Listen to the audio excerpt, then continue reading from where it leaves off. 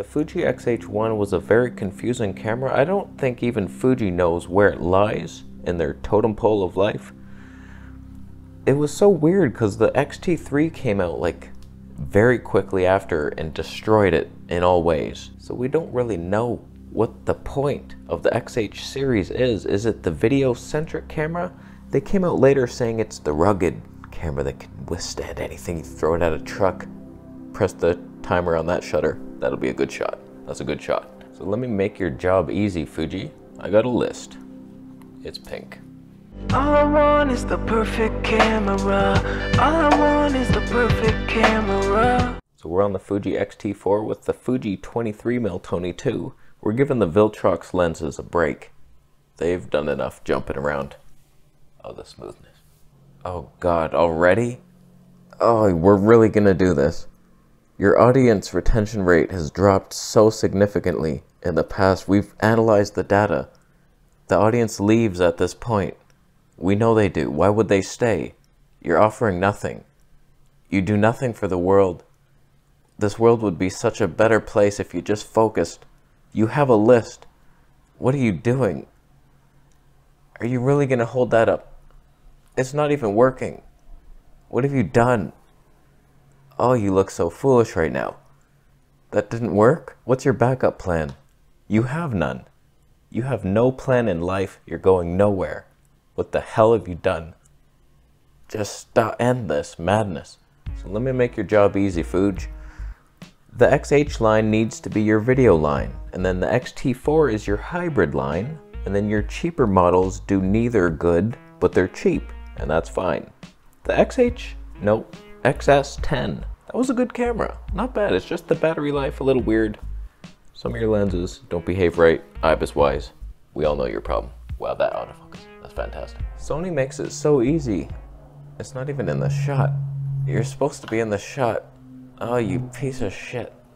Oh, that would be so good if I had more table space. But Sony has the hybrid in the a7 III. They got their super high megapixel in the a7R, and then the a7S is for video.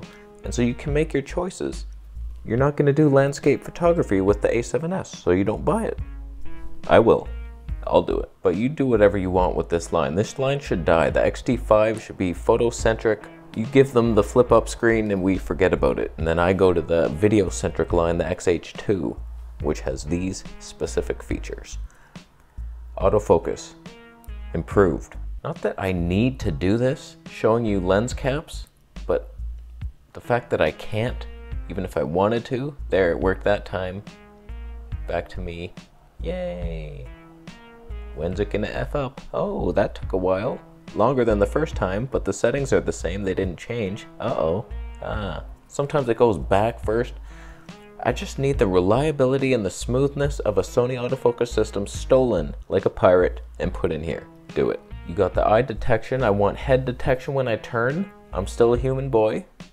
Sometimes it doesn't do it.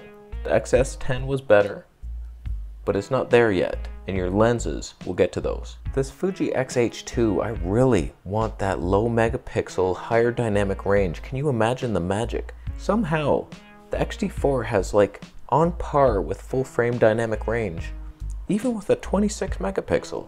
So knock that down to 10 or 12 max. I don't know the math and how that would work with 4K, just do it.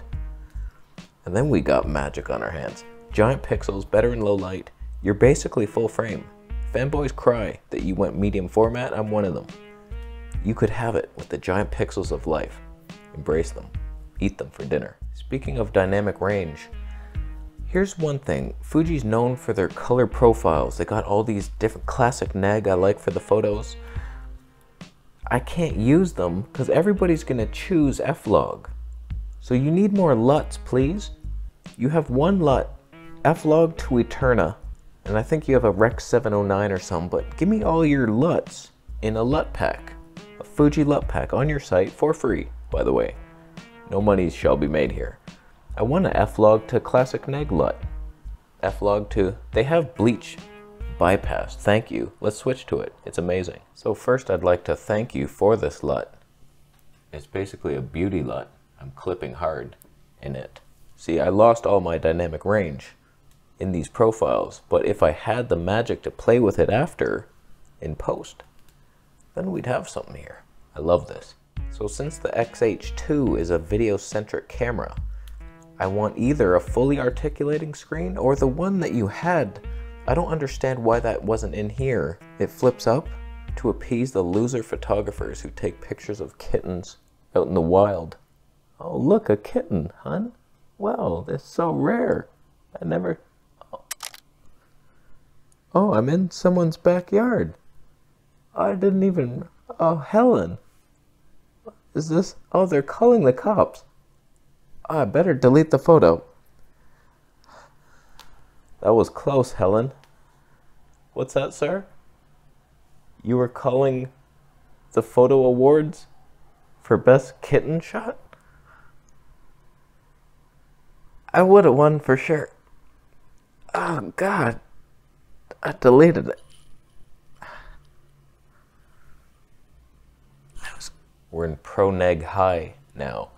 Just pure darkness in the shirt. That's a cron contesty one. Oh god. Oh, don't leave that in. Just edit it out. You can sound smart. Pretend. So give us that tilt up, tilt down, and fully swing out screen on the XT100. Now something that needs to be improved. For some reason, Fuji leads the industry and trails the industry in this one factor, which is auto exposure. It used to step noticeably, it'd be like, poof, poof, poof, poof. there, perfectly exposed. Like it was terrible. Then they fixed it in a firmware update, but there's these wild swings. I don't understand it. When I was doing that review of the Viltrox lens, just take a look at this. Everything's all cool, then I go to sit down in the tree and it's just like, wow, boom. Like there was no sunlight coming out and then darkness falls upon us. We defeat the evil here at Fuji. I don't know why it happens, and it happens quite often, even in here. Just little, you change a bit, and then you see the darkness over here? It's just so noticeable. I saw that. Sony's so much smoother, Canon smoother, Nikon smoother, like everybody is. It's just a firmware update away. Just play with it play with it and maybe let us set face priority exposure mode. Something's off. We can't change anything in here, but in the XH2, we can now, finally. Face priority auto exposure. Auto exposure. I'll leave. I would like improved IBIS with a gyroscopic data center in the brain of the sensor that reads out in real time using the Sony Catalyst Browse software immediately done I think that's what it does. With digital stave, it uses gyroscopic data. It doesn't work all that well. It kind of does. So improve it. You've done okay. Be better. What I really want is 480p. Someone give it to me. I don't care if it's 720p. And for those who are confused and keep complaining in the comments, oh, why is he calling it 480p? It's 400 FPS. Look in the menu, asshole, of any camera. 24p, 120p. That's what we call it. Takes three times less time to say it. Don't make me slap you in the baby. We're in classic neg. Things got orange fast. And even more clippy. I don't mind it. I don't mind it. I think we're probably gonna need 4K 120p in there as well.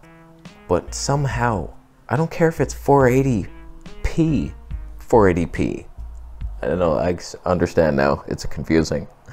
480 frames per second in 480p technology upscaled to 1080p. It doesn't have to look that good. I found Sony ZV-1 with the 960. I'm just trying to run across the street and live to tell about it, to tell the tales of my travels. We don't need like the best image. It looks good enough. Just give me fun. The higher the better. When it comes to the custom dials, should we keep the traditional like whoever used that. To this day, I cannot tell you if the ISO or the shutter is on the right or the left. I have no idea. They're both, because sometimes I'm in front of the camera, sometimes I'm behind, and then my brain flips it. Those are useless. Give me the custom mode dial like you did on the XS10. That's what I prefer. It's a video shooter's way of life. Nobody's doing this. Nobody's doing it unless you're in bed. This is the move, fellas. You're learning it here first. So give me a mode dial with like four, maybe even five custom modes. And each one could have three sub-custom modes in them if I choose, which I won't, but they better be in there. And they can obviously save video settings, unlike your XS10, which is in a box right now crying. Now when it comes to lenses, we need some wider lenses, homie. This is a 12mm Samyang freak lens of the bitch. No autofocus available. I gotta be honest with you, I think they dropped the ball pretty hard on that 10 to 24. It could have been something special. A 2.8 to 4, better stabilization, better autofocus, lighter somehow. That would have been nice, but okay, you messed it up. Let's go for a wide prime, 10 mil, and 10 to 12 anywhere. 10 mil 1.8, done. 11 mil, maybe. I'd prefer a 1.4 if it was somewhat in the ballpark of sanity size-wise. Probably won't be, judging by your 50 mil 1. That thing scares me, it scares children. But it makes me a little nervous. I don't see any wide primes on the roadmap. Uh, it's surprising. Like, they only have the zooms, and they're giant. The 10 to 24 is pretty big, and then that 8 to 16 is even bigger. It doesn't have to be that hard. Life can be okay. If you try, you go inside into the third eye area and picture a wide lens coming to you and massage this at the same time. It'll never come. I think the crop sensor bodies have a tougher time making the wide lenses for some reason. I don't understand physics, but Sony full frame like no problem and there's lots of options available.